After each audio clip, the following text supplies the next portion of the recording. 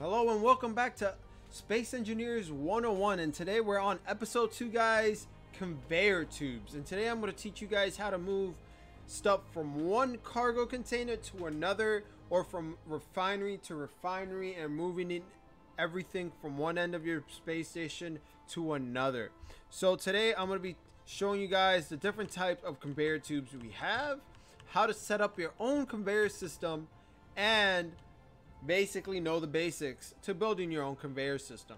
So right here I have an example of conveyors. Right here I have a conveyor with uranium ore and uranium ingots. If I press this little square over here, it will show me everything that's connected in my inventory.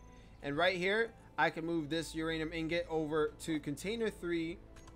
And if I walk over here and open my container, close up the square right here, and you'll find out that the uranium has been moved over. And that's been for the simple fact that I have conveyor tubes connected with a conveyor junction that will allow my materials to transport from one end to another thanks to the junction. Now guys, I'm going to show you a whole conveyor system that I've developed here at this small base that you guys probably saw on episode 1 if you were keeping up with the series. Now I have this whole conveyor system set up with conveyor junctions everywhere and it's connected to my refineries, my oxygen tanks, my oxygen vents, and throughout my whole cryo chamber and everything. So like if I were to go on any one of these right here, for example, I'll go on our hydrogen tank and open it up, I can see everything that's connected through the conveyor tubes. So if I wanted to look and add like uranium ingots into my reactor, I can do so from doing it from this menu. Now I can also bring it down and just look at the hydrogen tank as well. If I want to add ice and stuff, I can do that just by going on any one of these tubes over here. Now what's also pretty cool is that all your things are connected in just one system. So you don't have to worry to go into one of these cargo bins. You can just go whichever one you want and access whatever you're trying to access all through one. So it makes everything very convenient, everything very simple, and it makes your life a lot easier, especially when you have big, large space stations or big, large ships. Conveyors are just very practical, and it's not that hard. They're very easy to build, and they're very easy to get the materials to construct them as well, guys. So it's not that simple. All you need is honestly a conveyor junction uh, the tubes. So there are different various tubes that you can use. So we do have straight pipes like these. We do have these little curved ones as well.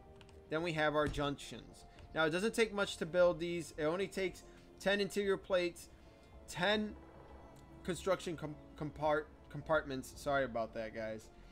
Six motors, 20 small steel tubes, 20 more construction comps and interior plates. And same, a little bit different for our conveyor straight pipe, which will take four interior plates, six motors, 12 steel tubes, 20 construction comps, and 10 interior plates. And if you want the curved one, you're going to be needing four interior plates, six motors, 12 small steel tubes, 20 construction comps, and 10 interior plates, which is very doable when you start off in Space Engineers, guys.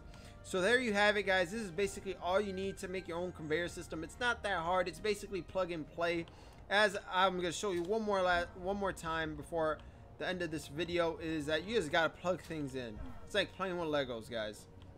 You put them right in here to this entry point right over over here and you basically have everything connected into one file system and basically have everything connected in one. Just make sure you have those junctions in the right place and you're ready to go.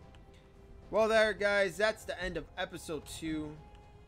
And we're going to be tackling on a new topic on episode 3 which is going to be oxygen, hydro tanks, and all that fun stuff.